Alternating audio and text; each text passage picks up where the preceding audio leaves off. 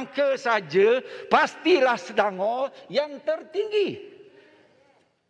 Sebabnya begini, Labuan 100 ribu, Selangor 6, penduduknya 100 ribu. Selangor 6,8 juta. Faham ya? Satu kes di Labuan bersamaan dengan 68 kes di Selangor. Untuk Labuan bersamaan dengan Selangor, 100 kes Labuan sudah mencecah 6,800 kes di Selangor.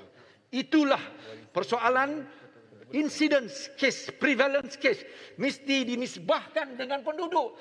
Jangan hari-hari dalam sidang akhbar Selangor tertinggi, Selangor tertinggi.